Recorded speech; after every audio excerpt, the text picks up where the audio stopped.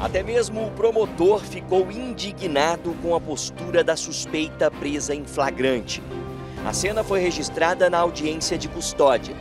Kátia queria ser solta por causa da comida da prisão. A senhora não vai deixar nem eu falar, tem fogo na cara dos outros, ainda não deixa o promotor falar, não tem compostura na audiência. É, é uma mulher que não tem condição de, de responder um processo em liberdade, que representa perigo para a sociedade, que representa perigo para qualquer uma, que, que represente é, uma resistência às suas pretensões afetivas.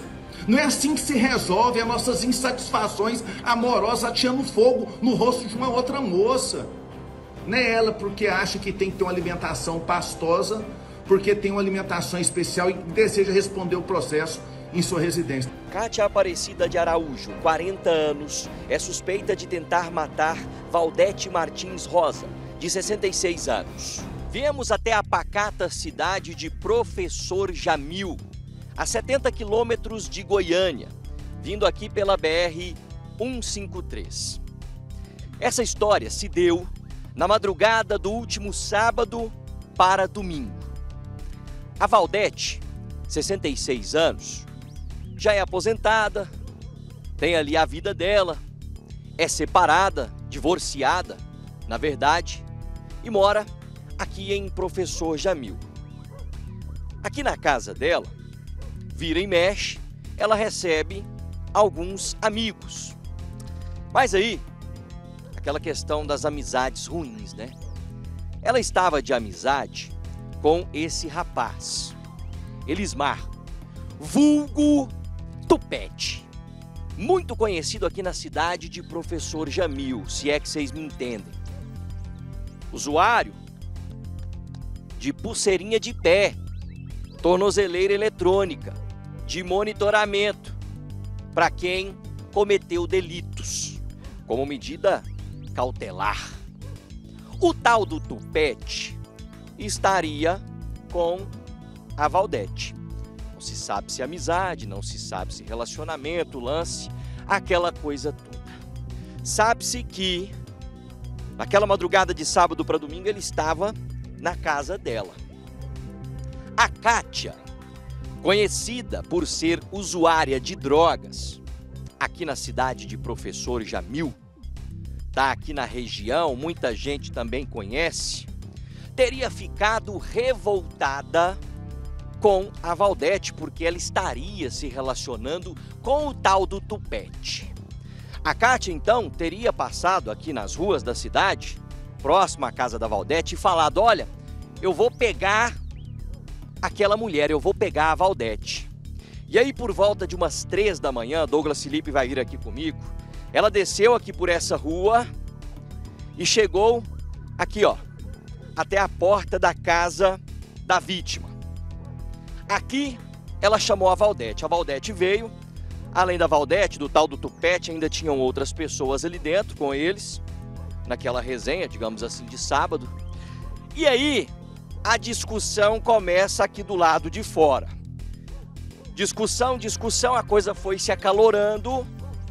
A Kátia teria empurrado a Valdete aqui para dentro e entrou junto. Quando ela entra, ela saca um vidro com álcool. Ela joga diretamente no rosto da Valdete.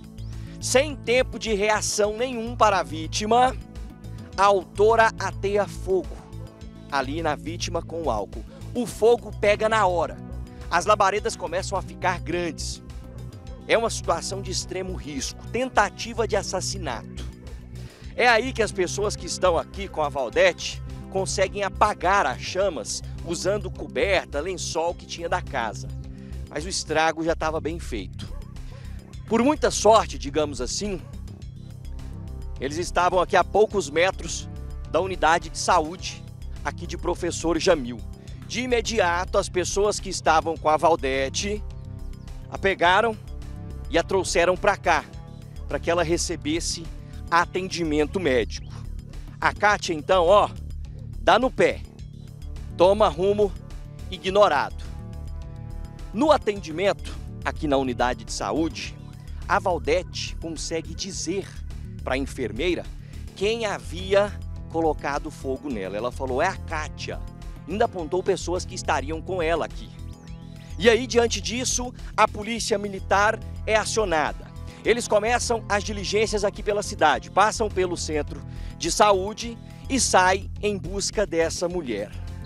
Aqui a alguns metros da casa da vítima, da Valdete, eles conseguem encontrar no setor Boa Nova a Kátia, que estava no meio do mato, escondida, achando que a polícia não iria a pegar.